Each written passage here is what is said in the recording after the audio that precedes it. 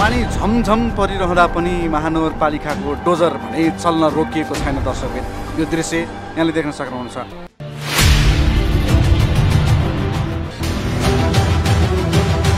बालेन सरले यो खोल्नु भयो अब यो खोलेपछि फेरि यत्तिकै यहाँ छोडिदिनु भयो भने त अब बालेन सरलाई त गाली हुन्छ नि। ठिक छ अलि दिन हामीलाई अलिकति समस्या हो। अब बालेन राम्रो गर्नुहुन्छ ठिक छ हामीलाई। अब बालेन करिडोर बनाइसिन्छ। करिडोर बनाएपछि त यो खोलामा ढल हाल्न पाइँदैन। बालेन खुसी छौँ। हामी बालेन केही भन्दैन। र यो कार्यक्रम हामी पहिला हेर्थ्यौँ उहाँलाई केही हुन नि हामी रुने हो। अब बालेन केही पर्दाखेरि हामी रुन्छौँ नि। किन अब आफ्नो छोरा नातिले चाहिँ ल है शाह आएको चाहिँ यस्तो राम्रो हो। पहिला यस्तो थियो। भन्ने मेरो छोरा नातिले त देख्नु भयो। रविलाम खानेर बालेन शाह चाहिँ अब यो राजा नायक बन्नुपर्छ। अनि अब त्यो एकजना राजाले खाइराख्नु भएको भए त सबैले सुख पाउँथ्यो नि शाहले चाहिँ यसलाई राम्रो गर्दै अब यो जति भड्काएको छ त्यसमा किन बालेन शाहलाई हाई हाई हुन्छ अब शाहले यो पारिपट्टि महानगर त उहाँले तयारी पारिहाल्नुहुन्छ। उहाँले आफ्नो काम सफल गर्नुहुन्छ। अब हाम्रो यो कुनोपा बाह्रले चाहिँ गर्दैन जस्तो लाग्छ कि हामीलाई। उहाँले गर्नुभएको भए त अहिले आएर यो अब हामी यहाँ दस वर्ष भयो पसल थापेको। अब दस वर्षमा उहाँले गर्नुभएको भए त यो कति राम्रो हुन्थ्यो त। अब ढल त चार फुटे बाटोमा बस्ला अनि अरूमा रोड बस्छ। अनि यो त खोलो मात्रै हुन्छ नि त। खोलो मात्रै भएपछि त यो खोलो त बर्खामा आउने हो। अब हिउँदा त त्यति असर पर्दैन होला। अब बालेन थाले यहाँ डोजर लगाएर यो खोलो निकाल्दाखेरि उहाँको नर परेर चाहिँ यहाँ किन आएन नि त? एकजनालाई नि यहाँ पठाउनु भएन नि उहाँले? किन हामी पनि देख्छौँ नि त। यो त दुईजना भएर मिलेर काम गर्ने हो नि त।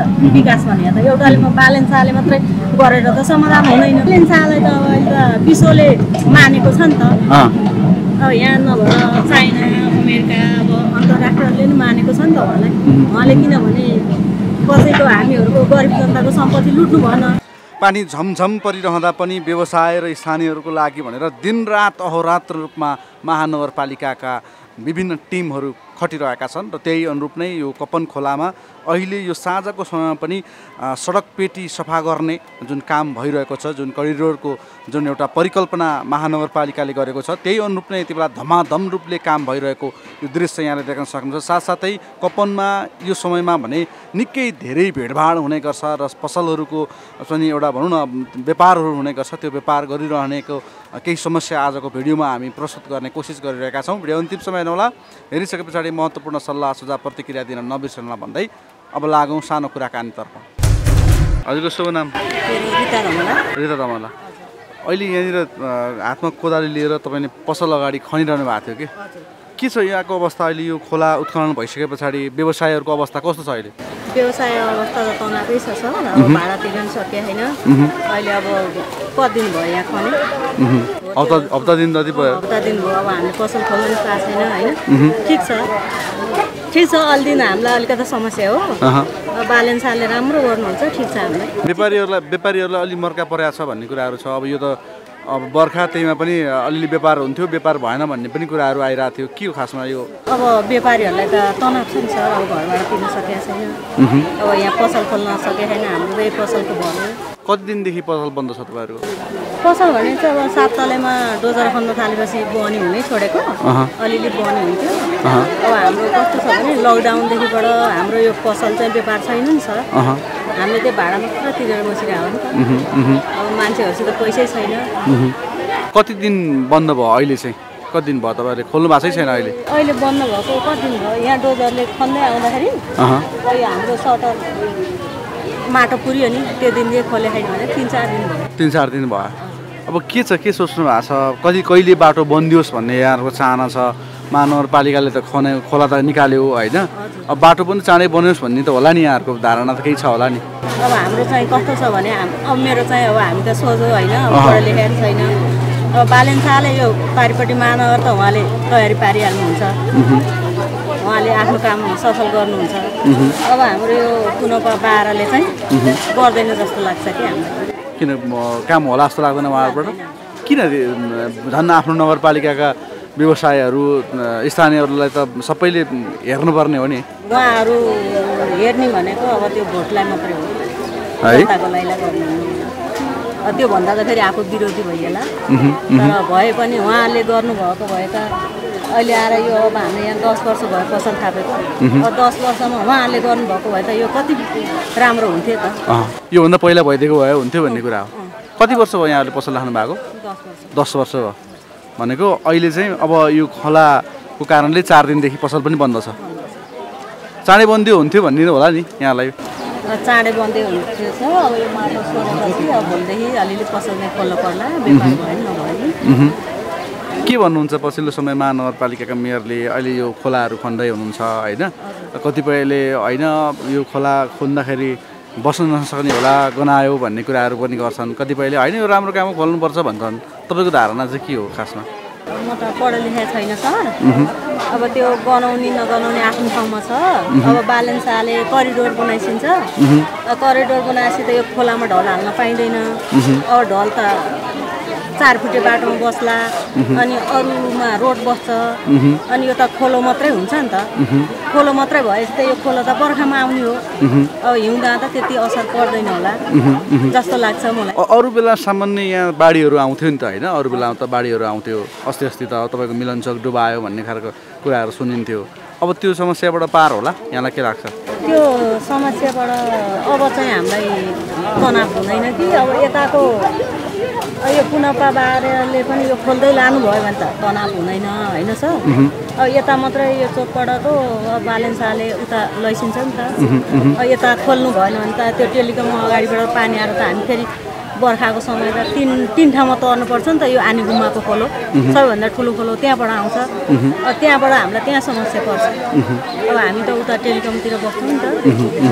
अब अहिले खोला खन्दा खन्दा फेरि बन्द भयो। माथि यो ढलानबाट उता जाने भन्ने कुरा भएको थियो फेरि अहिले खनिया छैन।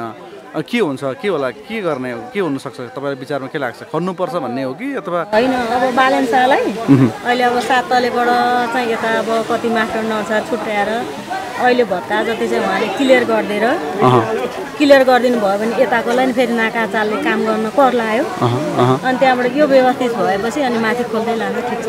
ए भनेको अहिले भत्का जतिलाई बनाइदिने हो भने समस्याको समाधान हुन्छ। अनि यदि बुनपाले पनि त्यो देखेर पनि गर्छ भन्ने पनि हो यहाँको धारणा? अनि गर्छ पनि अनि हजुरको फेरि अब अब यता महानगर राम्रो भयो नि त। फुल यो धोबीखोलाको साइड जस्तो करिडोरको साइड जस्तो बनाएर फुल बिरुवा सबै भएर राम्रो भयो नि त। यो नाका चालले नि यता नि गर्नु पर्ला नि त। अब अब बालेन्साले यो खोल्नु भयो। अब यो खोलेपछि फेरि यत्तिकै यहाँ छोडिदिनु भयो भने त अब बालेन्सालाई त गाली हुन्छ नि त। अहिले त अब पब्लिकको उहाँलाई हाई हाई छ अब हामी पनि भोटै हो।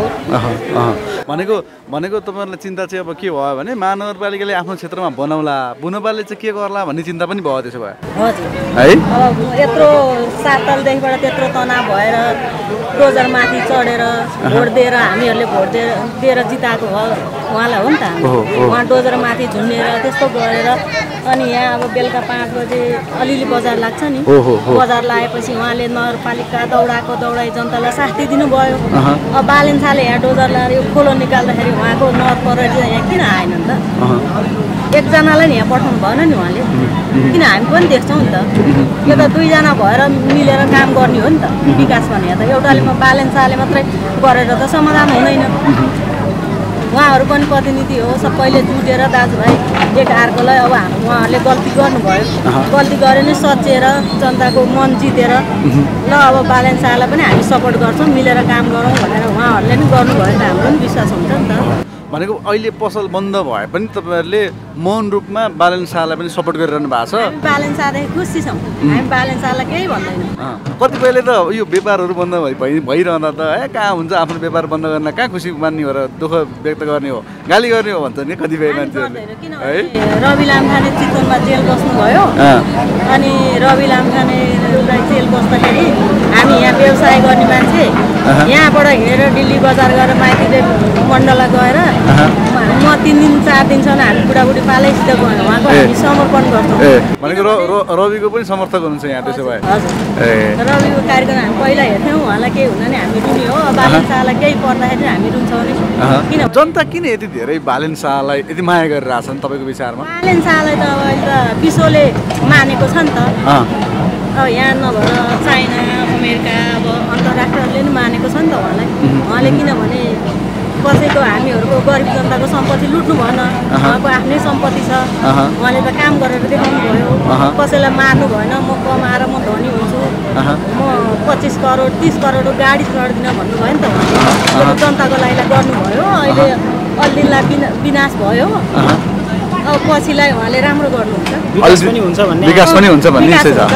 है। अहिले हजुरको म अब अफिस जान्छु। उहाँको क्षेत्रमा नगर कति राम्रो छ? अब त्यो उसमा कालो पुलको एरिया भयो सानो गौचरणदेखिबाट कति राम्रो उहाँले विकास गर्दै ल्याउनु भएको छ। भनेको कपनवासी पनि त्यस्तै हेर्ने आशामा छन् त्यसो भए होइन त। अहिले अप्ठ्यारोमा भयो नि समस्या भए पनि कपनवासीका व्यवसायहरू घरधनीहरू स्थानीयवासीहरू विकास हेर्ने सुन्दर सहरको परिकल्पना गरिरहेछन्। होइन त दिदी? सर अब पुल ल्याएले कति बाँचिन्छ अथवा यहाँ बस्न सकेला नसकेला। अब हामी गरिब परिवार हो अब हामीले त यहाँ व्यवसाय गर्ने हो अब हामीले काम गर्न सक्यौँ भने सक्यौँ नसक्यो भने हामी गाउँ फर्किन्छौँ। अब हामी त अब के भन्छ अब आफ्नो छोरा नातिले चाहिँ ल है ब्यालेन्स आएको चाहिँ यस्तो राम्रो हो पहिला यस्तो थियो भन्ने मेरो छोरा नातिले त देख्ने हो के भन्नुहुन्छ बारेन शाहलाई अन्तिममा? अब तपाईँको एउटा उमेरको हिसाबले त भाइ जस्तै हो उहाँ त होइन? छोरै जस्तो हो। छोरा जस्तो भन्दा नि भयो होइन? के भन्नुहुन्छ? उहाँलाई चाहिँ अब रवि लामखाने र बालेन चाहिँ अब यो राजा नायक बन्नुपर्छ। अनि त्यहाँ माथि हाम्रो राजालाई पनि ल्याएर राख्नुपर्छ।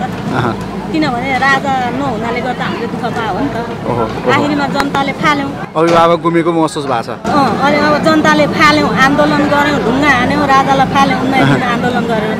राजा एउटाले त यो देश खाएर सित्याउनु भएको थिएन नि त। अहँ। अहिले त हामीले छ सय सातजनालाई हामीले पालेका छौँ राजा बनाएर राखेका छौँ अब हाम्रो व्यापार छैन हामीले दर्ता गरेको छ पेनमा हामीले त्यो कर तिर्न सकेदैन अब हामीले कहाँबाट ल्याएर तिर्छौँ अनि अब त्यो एकजना राजाले खाइराख्नु भएको भए त सबैले सुख पाउँथ्यो नि त। अहँ, अहिले त विद्या भण्डारीलाई हामीले कति पच्चिस करोडको हेलिकप्टर चढेर हिँड्ने अब हाम्रो केही गरिनु अहिले अहिले यो जस्तो यो भत्काइरहँदा भत्काइसके पछाडि यहाँको नगरपालिकाका मेयर साहबहरू नगरका अध्यक्षहरू आउनु भएको छ कि छैन यो वडाका? के छ अवस्था? कस्तो छ व्यापारीहरूको अवस्था भनेर? त्यो लडाइँ भएदेखि देखिएरै। आउनु भएको छैन। अब यो व्यवस्थापन गर्छु भन्नु नि भएको छैन उहाँहरूले। छैन अब बालेन साल चाहिँ यसलाई राम्रो गर्दै अब यो जति भत्काएको छ त्यो चाहिँ किन बालेन साल हाई हाई हुन्छ त्यो भत्का जति राम्रो उहाँले गरिदिनु भयो भने अनि यसको नाका चालले नि यहाँ गर्नुपर्छ क्या।